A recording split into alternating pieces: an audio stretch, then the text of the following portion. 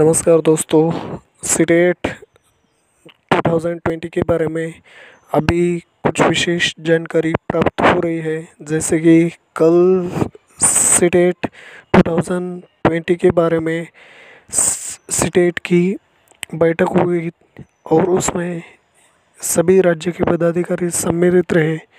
उसमें यह जानकारी हासिल हो रही है कि कुछ राज्यों ने इसको सम्मति दे दी है, लेकिन कुछ राज्यों ने अभी तक इनकार कर दिया है एग्ज़ाम लेने से।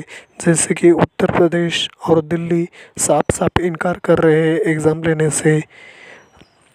अब इस दौरान देखना है कि क्या C T eight two thousand twenty five जुलाई की होगी या उसकी डेट पोस्टपोन होगी।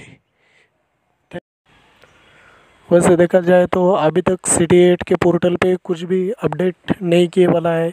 वैसे कि जून का यह तीसरा वीक है तो अभी आ, कुछ रिलेटेड जानकारी आ जानी चाहिए थी लेकिन अब तक सी टी एट ने कौन सी भी जानकारी साइड पे अपडेट किए नहीं वाली है।